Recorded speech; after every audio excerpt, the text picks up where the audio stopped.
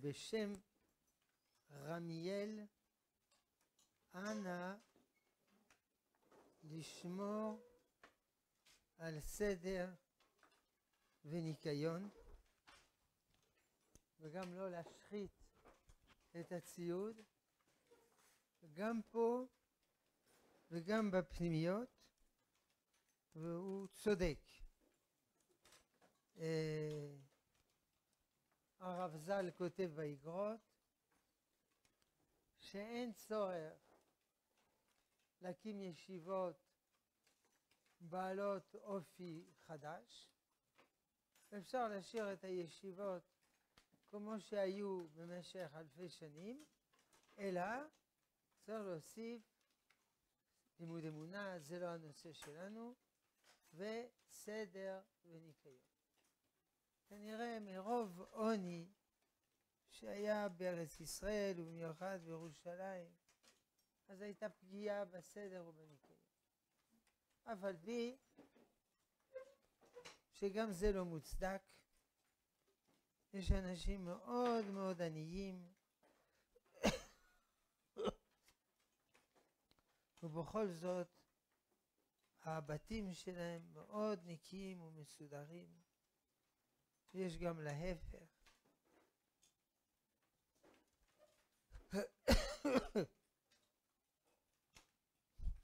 איפה כתוב בתורה סדר וניקיון?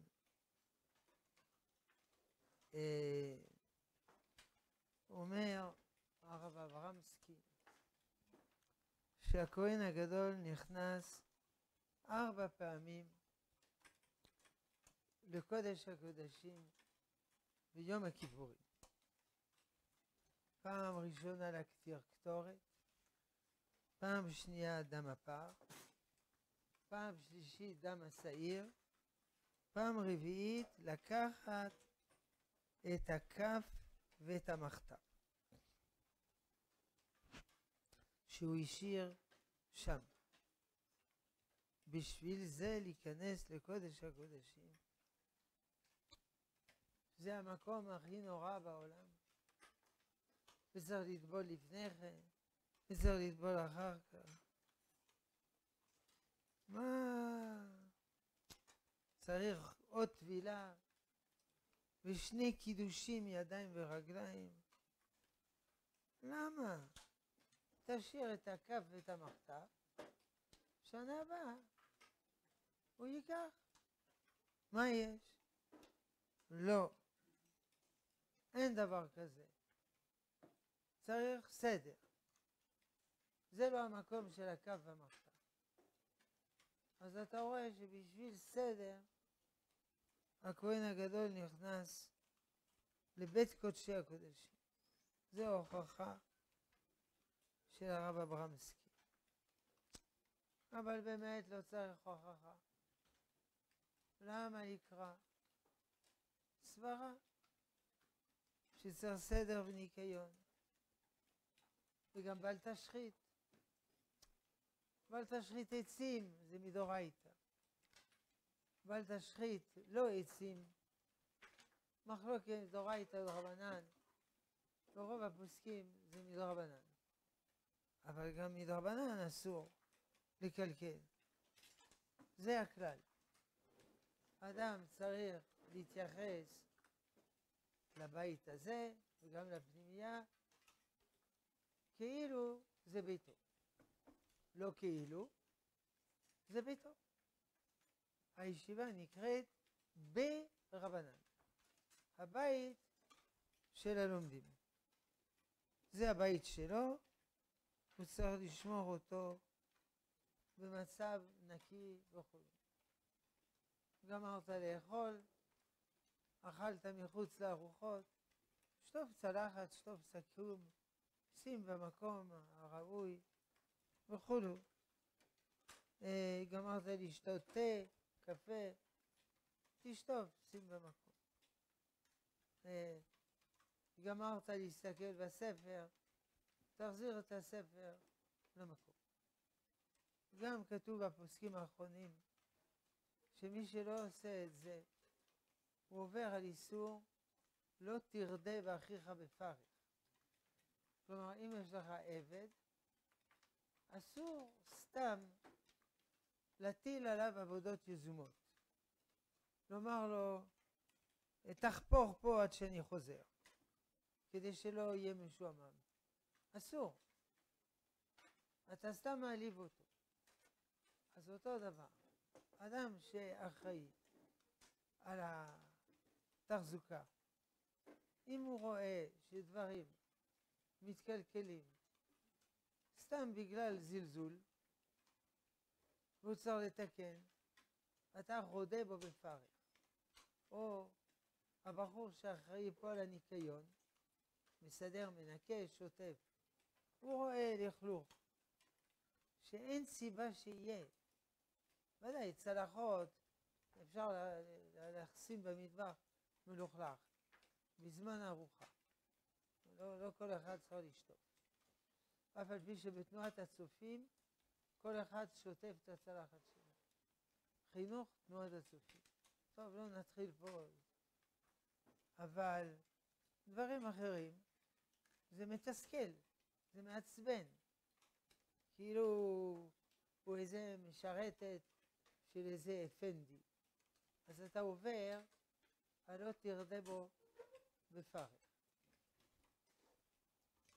אומנם ייתכן שיש פה לכלוך שזה לא באשמתנו, אלא כל מיני שוטרים, וכל מיני חיילים, וכל מיני מבקרים. יכול להיות. לא משנה. אתה בכל זאת יכול לנקות. מנהג טוב, מי שמטלפן אליי, אני מדבר איתו בחוץ. אף על פי שמן הדין מותר לדבר בפנים. בית כנסת אסור לדבר דברי חול בפנים. בית מדרש מותר. לפי הרמה, כי זה הבית שלו, הוא גר פה. אז מותר לו לאכול, אוכלים, מותר לו לקרוא ספר חול, מותר לו לדבר בטלפון עם אמא שלו על האוטובוס, מן הדין מותר. אבל בכל זאת, אני מדבר בחוץ, וזה משתעמם ממה שאנשים מדברים איתי. באותו הזמן אני עושה סדר. לוקח כוס מלוכלכת, שם בכיור, או נייר על הרצפה, מרים, וזה ספר, מחזיר, למקום. אז ראוי שכל אחד ינהג ככה, כשמטלפין אליו, שידבר בחוץ. אגב, הרבה פעמים גם אנשים פונים אליי מהישיבה בחוץ בשאלה, 99 אחוז אני בטלפון, אחרת אין לי מה לעשות בחוץ. אבל זה גם יותר נוח לדבר בישיבה ויישוב דעת. אז מנהג טוב לדבר בטלפון בחוץ, יש אי סדר וכולו, אז לסדר שנקי. אביי, אבא מסדר סדר המערכה. היה מסביר, זה בתפילה, מה סדר המערכה? בשמה דבה שאול. הרב ז"ל מסביר שם, מה זה בשמה דבה שאול? בסדר המערכה. כי לפעמים הסדר עלול להחניק את האדם, להגזים בסדר. אז הוא צריך הדרכה מאבא שאול, שהוא מעל הסדר. לא הסדר יקבע את החיים, אלא מה שמעל הסדר. גם סדר ליל פסח, יש מעל הסדר. אדם, יש אנשים, הם קפדנים. הוא מגיע הביתה, לא מסודר, מתעצבן על אשתו. אתה יודע מה? פעם הבאה, אתה תהיה בהיריון, אתה תלד, אתה תבשל, אתה תכבס, ונראה אותך. מה אתה לא, לא מוצא חן בעיניך הבלגן של אשתך? תשטוף כלים אתה, תעזור לה. סוגריים, בארצות הברית, 50 אחוז מהזוגות הנשואים, הבעל אה, מקבל על עצמו מחצית עבודות הבית. אף על פי שהאמריקאים הם לא שווים כלום, לא הם ולא הנשיא שלהם, וזה מיקרופונים, לא, לא, זה מיקרופונים, אבל בזה, קבל את האמת ממי שאמרה, הוא עוזר לאשתו, מה אפשר לעשות? אז אה, זה לא שהוא עוזר, זה הבית של שניהם, אז שניהם לוקחים את האחריות. והיריון, איך אני יכול לעזור לה? זה בעיה ביולוגית אה, מסובכת, אבל אתה יכול בכל זאת לקחת על עצמך יותר, אה, יותר משימות בבית, שהיא בהיריון. אבל זה על חשבון לימוד תורה. אם זה ככה, קח את הכתובה, תקרא אותה לחתיכות. בכתובה חתמת שאתה מתחייב, אז אתה צריך לקיים. אתה לא רוצה להתחייב, אל תתחתן. או תקנה לאשתך חמש משרתות. משרתת אחת לכבס, משרתת אחת לבשל, משרתת אחת לסדר את הבית, משרתת אחת לטפל בילדים, ומשרתת אחת לשעת חירום. תקנה לה חמש משרתות, וזה אין בעיה. אתה לא קונה למשרתות, אז אתה חייב לעשות את הדברים האלה. אם לא, תקנה למשרתות. היא לא חייבת לעשות כל הדברים האלה. או תסחוב את הכביסה למכבסה העירונית, ויחפשו לך שם, וכן הלאה. ותקנה אוכל מוכן מקייטרינג, וכן הלאה. אז לא, לא להעליב את אשתו בגלל שיש לכלוך ובלגן. לא לעשות מזה עיקר החיים. זה הקיצוניות ההפוכה. פעם אישה אמרה לי, כתבה לי מכתב, אני לא זוכר, או דיברה איתי, אמרה, צריך סדר וניקיון? כן. אצל הבת שלי הנשואה, אין. אין. אתה מוכן לדבר איתה? אמרתי, אני לא מוכן לדבר איתה, אני לא מכיר אותה. אני לא נכנס לחיים של אנשים שאני לא מכיר. אבל אם אני אשלח לך מכתב, תענה לי? כן. שלח לי מכתב, עניתי שצריך סדר וניקיון וזה וזה.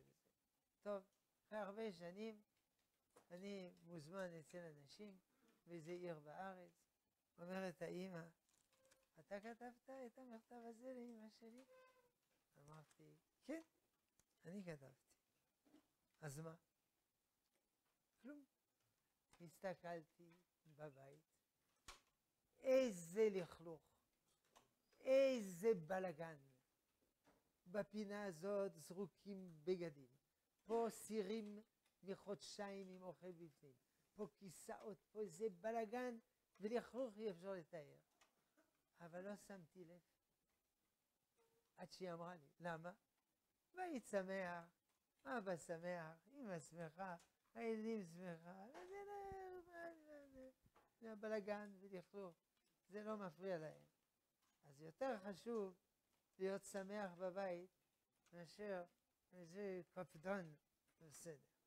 לכן, אומר הרב ז"ל בסידור לתרייה, הסדר צריך להיות בעצמו על פי מה שמעל הסדר. אל תעשה מהסדר אלילות. וגם מהניקיון אלילות. יש נשים, יש להן בעיה כזאת כפייתית, הולכות כל היום עם סמרטוט, מנגבים את הידית, מנגבים את השולחן, מנגבים את הבעל, מנגבים את הילד, כל היום מהבוקר עד הערב מנגבים. טוב, זה הפרעה פנימית. לא, לא, לא, לא צריך להגזים. אבל כמו כל דבר בעולם, דרך האמצע. מזל שיש צבא, שם לומדים ניקיון. ואין החייל, ואין החייל. בדיקת נשק, מכניס את האצבע, זה נקי, מורח לו על החולצה.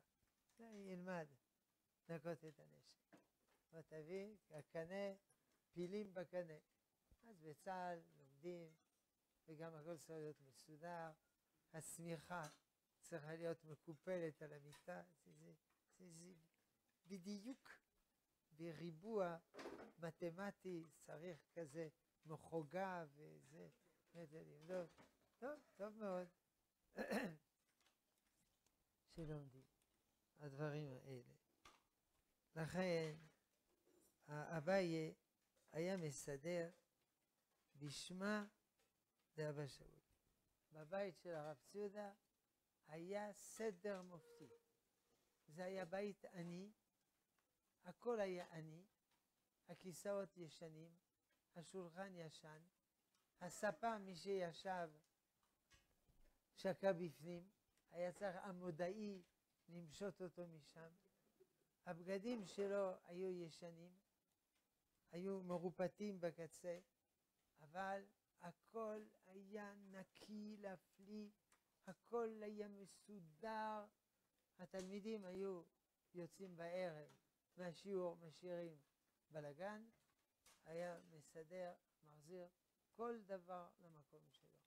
כל ספר הוא ידע בדיוק איפה נמצא, שורה ראשונה, שורה שנייה, כל דבר. היה שם ספר על השולחן, לא באלכסון, ישר.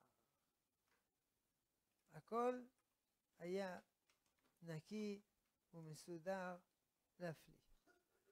אף על פי שהיה עסוק וכן הלאה. בישיבות המוסר הייתה מחלוקת.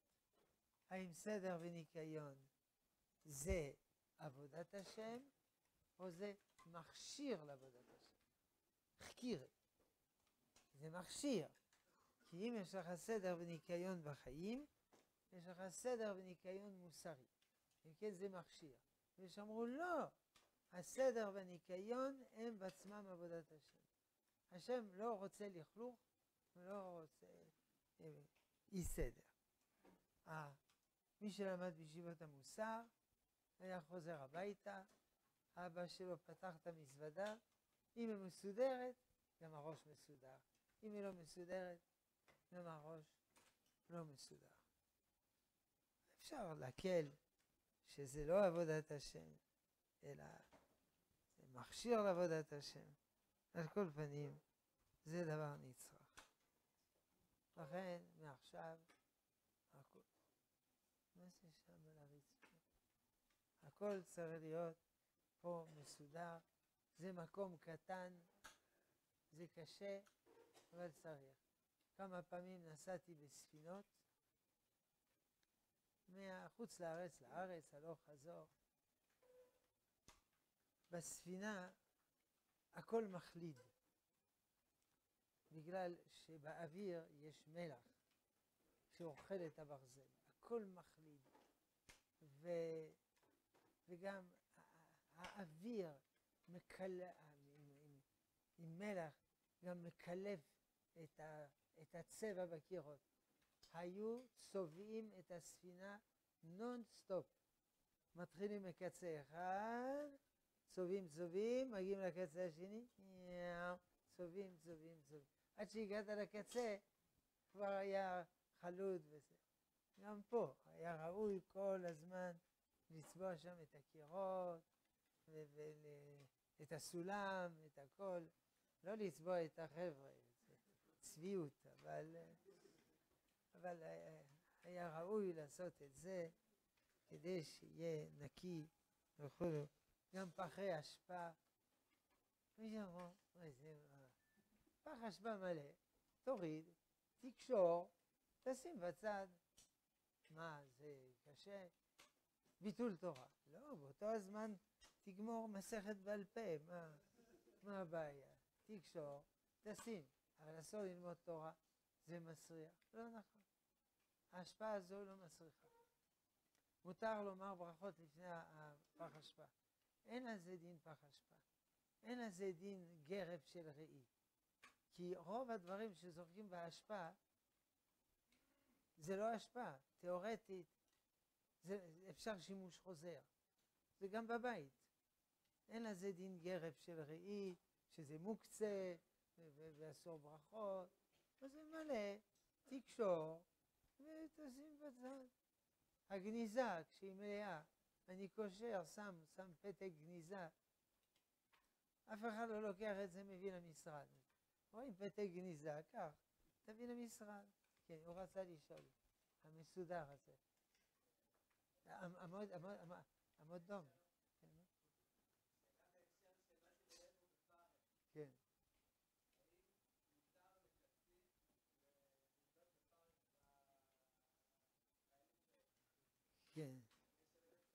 לקצין מותר, כי זה חלק מהחינוך.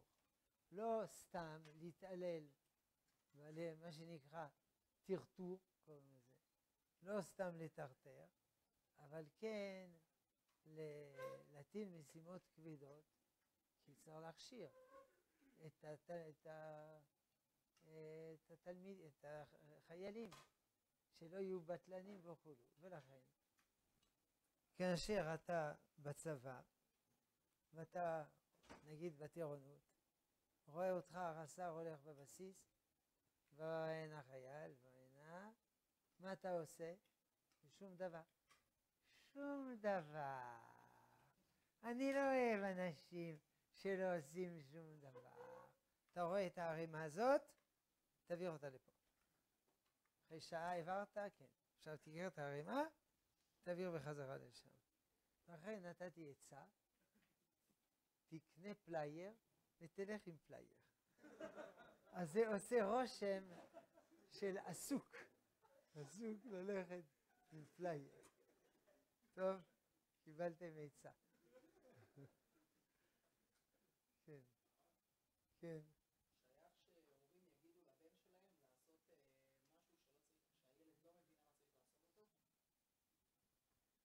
זו שאלה אחרת של חינוך הילדים. ההורים לא צריכים לטרטר את הילדים. וצריך להסביר להם. זה השאלה, יש חלוקה בין בן ועבד. לכאורה מי יותר גדול? עבד. כי הבן אומרים לו, לך לזרוק אשפה. למה אני? למה לא אחי? למה עכשיו? למה אחר כך? לא אחר כך. יש עוד מקום, אפשר לשים בה בחדר. הבן הוא מתווכח. העבד, לך תזרוק אשפה, הולך תזרוק אשפה. לכן העבד, לכאורה, הוא יותר מהבן. אבל בספר הזוהר כתוב שגם הבן הוא עבד. כל מה שהוא מקבל פקודה, מיד הוא מבצע. אלא הוא זוכה שהמלך מכניס אותו בגנזיו. כלומר, הוא מסביר לו בגנזים. כלומר, הבן, בן של הקדוש ברוך הוא, הוא עבד. פקודה זה פקודה. אבל השם מסביר למה. אגב, גם בצה"ל. הקצין מסביר תמיד. חבר'ה, שבו על האבנים, אנחנו תוקפים את האויב, שמאל, אה, מזרח, מזרח, דרום, וזה וזה וזה. הוא מסביר. אבל זה לא אומר שחייל יגיד, רגע, רגע, יש לי רעיון. ככה מספרים שהיה בהתחלה בהגנה, אנשים למדנים, קצין אומר, טוב, אנחנו תוקפים, רגע, רגע, יש לי רעיון אחר, וכולם דנים ומתווכחים, כמו בשיעור כללי, וזה, וצועקים, והקצין אומר, רבותיי, רבותיי, ככה מספרים שהיה. אני לא מאמין, אבל זה יפה, זה סיפור יפה. אז הקצין הוא לא אומר לחיילים להשתתף בדיון, אבל הוא משתף אותם. אז האבא, הוא צריך להסביר מגיל חינוך. מגיל חינוך, חמש, שש, צריך להסביר למה נותנים לו פקודה זו או פקודה אחרת. זה לא אומר שזה פתוח לדיון, אבל צריך לכבד אותו, להסביר לו למה, ולא סתם להתעלל בו. כן. זו אותה שאלה שהוא שאל. אם ההורים מטרטרים את הבן. אם ההורים מטרטרים אותך אם אתה חייב. לכאורה לא. כי אדם חייב, מכין ומשקה, מלביש ומכסה, מכתיס ומוציא. כלומר, לדאוג לצרכים האמיתיים, האובייקטיביים של ההורים. אבל מעבר לזה, הוא לא חייב. גם התוספות מזכירים את זה. אמר לו אביו לא להחזיר אבדה. לא, צריך להחזיר, כי זה עבירה. לא אומרים התוספות. זה לא מתחיל. מה אכפת לך שאני מחזיר אבדה? אלא הוא אומר, אל תחזיר אבדה, כי אני צריך אותך לעשות משהו. אז אני אצור דרשת חז"ל. או אומרים לה, תיכנס לבית הקברות. אני לא נכנס לבית הקברות, כהן. אבל בכלל, אז השאלה לא מתחילה, אומרים התוספות. לא, תיכנס לבית הקברות, תביא לי משהו ששכחתי שם. אז לא ישמע. אבל אם הוא לא צריך, לא צריך לשמוע. לכן, כל דבר שהוא לא צורך אובייקטיבי של ההורים, אתה לא חייב לשמוע. למה אתה לובש חולצה כחולה? תלבש חולצה ירוקה. החולצה שקניתי לך אתמול. אתה לא חייב. וכולו. אבל אם אתה עושה, יש לך מצווה. לא חובה, אלא מצווה. כי אתה משמח. אז העצה היא דבר שהוא לא חשוב, כן לקיים מה שההורים אומרים. א', יש לך מצווה, ב', אתה אה, אה, אוכל משולחנם, אז אתה חייב דברים. ג', גם הם עושים לפנים משורת הדין, תעשה גם אתה לפנים משורת הדין. ארבע, שיטת בעל המקנה שאתה חייב. מדין לא סותר את דבריהם. אמנם הוא דת יחיד, אבל הוא אמר. לכן אם זה דבר של מה וכך, תעשה. מה עבד לך כיפה סרוגה, תלבש כיפה שחורה. לא, זה פיקוח נפש. או שאני מתאבד, או שאני... בסדר. אבל אם זה לא קריטי, סרגה לך כיפה סרוגה, אז מוישלה, תוך, הנה, שמתי לך מרק. אמא, אני מבקש. לא קוראים לי מוישלה, קוראים לי פרופסור משה ברגר, ואני כבר בן 65, מנהל חברת הפוספטים. אתה לא פרופסור, ואתה לא ברגר, ואתה ילד שלי, ואתה תאכל את המרק. הוא שמע את השיעור, אוכל את המרק. אתה רואה מוישלה? אכלת את המרק, אה? טעים, אה? אמא יודעת יותר טוב ממך, פלאץ', מרק שני, אה? טוב, הוא שמע את השיעור. מרק שני. אתה רואה מה? בהתחלה לא רצית בכלל לאכול מרק, ובסוף אכלת שני מרקים. פלאץ', מרק שלישי. לא, לא, לא נורא, לא, לא קורה כלום, בסדר. האימא, זה לא משנה. גם אם אתה בן 120 והיא בת 140, היא נותנת לך הוראות בנושא. יש שיר כזה, שכחתי שמו. אחד זמר יווני צרפתי, ז'ורג' משהו. ז'ורג' ז'ורג' מוסטקי. ז'ורג' מוסטקי. זה שיר שנקרא אימא יהודיה. אז היא אומרת, זה תורגם לעברית, הוא שר את זה גם בעברית. עברית עם מבטא צרפתי יווני, אבל זה לא... אומר, תראה, זה נכון שאתה בן עשרים, אבל אתה עדיין ילד שלי, ואני יודעת יותר טוב ממך. אחר כך נכון שאתה בן שלושים, אבל אתה ילד שלי. למה אתה לובש את העניבה הירוקה, ולא את העניבה הכחולה שקניתי לך? נכון שאתה בן ארבעים, אבל אתה עדיין ילד שלי. אשתך, היא לא מבינה כלום. היא בעצמה ילדה, אני מבינה יותר. נכון שאתה בן חמישים, אבל אתה ילד שלי. למה למדת? ורציתי שתלמד להיות עורך דין. במקום זה למדת מדבר אחר. אני יודעת יותר טוב ממך. נכון, אתה בן שישים, אבל אני אימא שלך. נכון שהאימהות היהודיות הן לפעמים נודניקיות ולוחצניות, אבל לא משנה. אני אימא שלך. נכון, אתה בן שבעים, אבל אני אימא שלך. אז זה כזה שיר, אימהות יהודיות. יכול להיות שגם גויות זה ככה, אבל אנחנו לא... אנחנו יהודים. בקיצור, לא, לא, לא, לא להתרגש יתר על המידה מכל הדרישות, אבל לא, יש דברים חמורים. תראה, הבאתי לך בחורה להתחתן, בדודה, יאללה נו, אני לא רוצה, נו באמת, אמא מבקשת. עד כאן. או בוא, בוא, תלך ללמוד רופא. לא רוצה להיות רופא, רוצה להיות מהנדס. תראה, סבא, אבא שלך היה רופא, סבא היה רופא, סבא רבא רופא, אתה תהיה רופא. נוסח ב', תראה, אבא שלך לא רופא, סבא שלך לא רופא, סבא רבא לא רופא, אתה תהיה רופא. לא, הוא לא רוצה להיות רופא.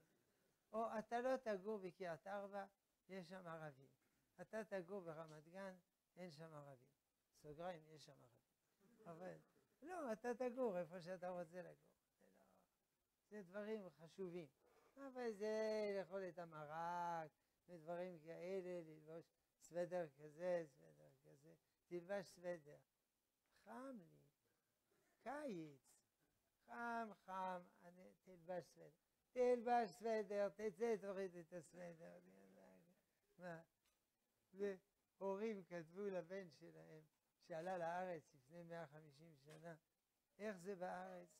אתה דואג לבריאות, לובש סוודר חם כשקר, סוודר קר כשחם. הורים יקרים, אל תדאגו. זה פה ממש גן עדן כל יום חג. כל יום אוכלים כמו ביום הכיפורים, יושבים כמו בתשעה באב, ישנים כמו ליל שבועות ומתלבשים כמו בפורים. כל יום חג. רוצה לרמוז על התנאים הקשים. אז יש להבחין בין דברים חמורים ודברים שלא חמורים. יאללה נו, תוותר, אל תעשה, אל תעשה מזה עניינים עקרוניים. יש עוד שאלה.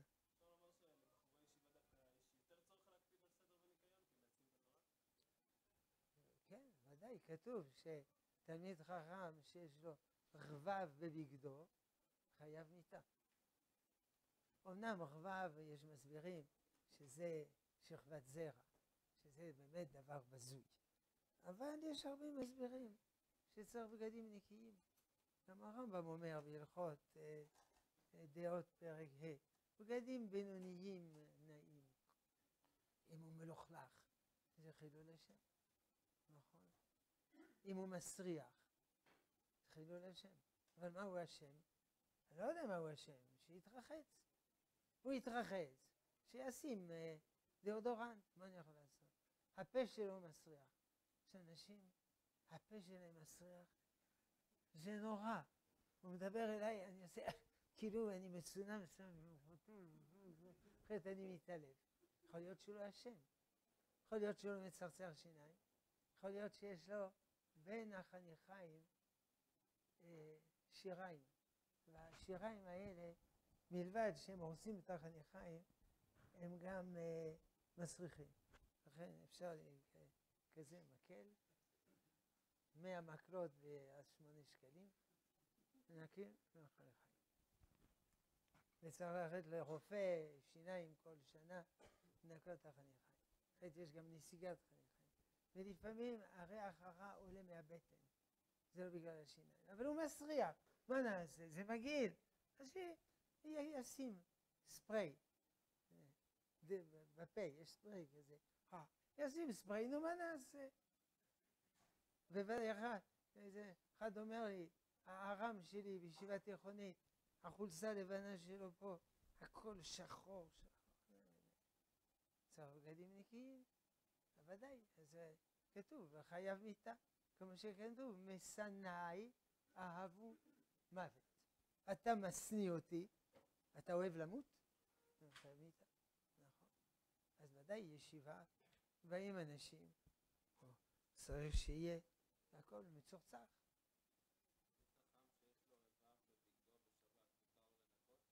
לא, אסור לנקות. תלוי, אם זה לכלוך חיצוני, אפשר לנקות אם זה נשאר. הרושם. לא, אז מה הוא עושה? הוא עושה מה שעושה ילד קטן, שלכלך את החולצה, מפחד מאמא שלו. אז הוא שם את היד על הכתם, לכן אמא המורה שלי אמרה לי, ואז אני עשיתי ככה, ואז ואמרתי, ואז זה, ולכן כתוב פה, וזה מה שהוא עושה. אז צריך לעשות אותו דבר. מפי יונקים ועוללים ייסד את העוז. לומדים מהם מה לעשות. ודאי שאי אפשר. זה איסור דורייתא, חיבוס. זה?